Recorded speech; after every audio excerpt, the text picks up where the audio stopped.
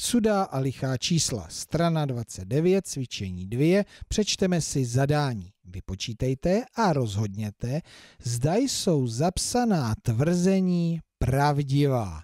Takže máme začít čím, čím vypočítáním. Takže se pustíme do sloupečku A.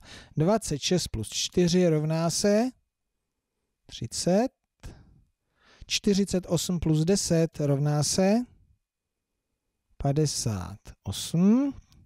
48 plus 4 rovná se 52.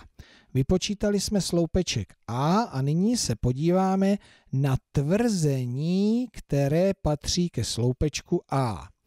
Součet dvou sudých čísel je číslo liché. Takže tady jsme sčítali vždycky sudá čísla, 26 ano, 4 ano, 48, 10, 40 ano. Takže tady jsme vždy sčítali sudá čísla, no a teď se podíváme na ty výsledky.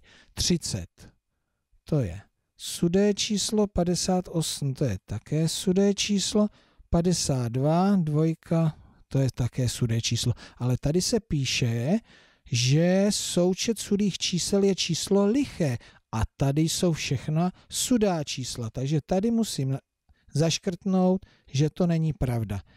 Já bych mohl tvrdit, že ano, součet dvou sudých čísel je číslo sudé, ne liché. Zkusíme si ještě sloupeček B.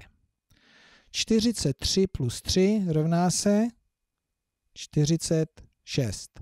19 plus 7 26.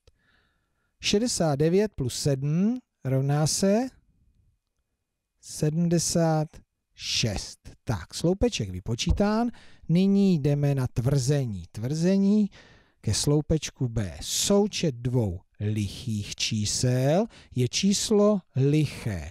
Přesvědčím se, jestli jsem tady opravdu sčítal pouze lichá čísla, ano, toto jsou lichá čísla, výborně. A teďka výsledek, čili ten součet 46 sudé, 26 sudé, 76 sudé, hmm, tak tady také ne.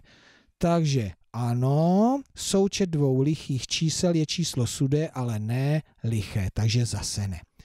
Tak, podívám se, jestli jsem dva řádky ukázkové, dvoje tvrzení vypočítal správně. Ano, svítí to tady, co jsem vypočítal zeleně, takže co vy uděláte? Vypočítáte vždy ale celý sloupeček, podíváte se na tvrzení, u výsledků zjistíte, zda se jedná o sudá nebo lichá čísla a podle toho zjistíte, zda tento toto tvrzení je nebo není pravdivé. Docela zajímavé cvičení.